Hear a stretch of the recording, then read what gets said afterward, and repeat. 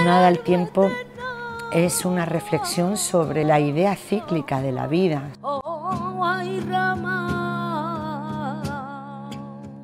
Hay un, devenir y, un ciclo que nos va otra vez a plantear las luces y las sombras de la vida. Sobre todo lo que trata es de reflexionar sobre la contemporaneidad, que es el tiempo, cómo lo medimos.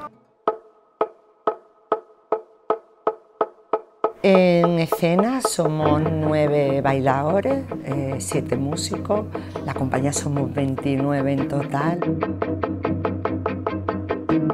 La obra, la verdad que ha tenido dos años para su, creación, hemos dedicado dos años para el proceso creativo y bueno, es un trabajo, como digo, complejo que hemos hecho el Art y yo. Es un trabajo interesante también a nivel de de cómo el flamenco es visto desde su modo más tradicional, pasando por su momento más actual que podamos entender más contemporáneo.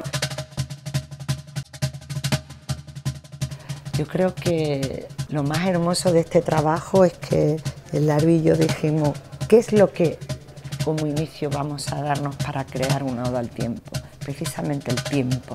Vamos a a nivel coreográfico dedicarle todo el tiempo que necesitamos con nuestros bailadores para hacer un montaje donde podamos desgranar todas las cosas, donde cada paso tenga un contenido y un sentido. Y yo creo que eso ha sido hermoso también porque no suele pasar.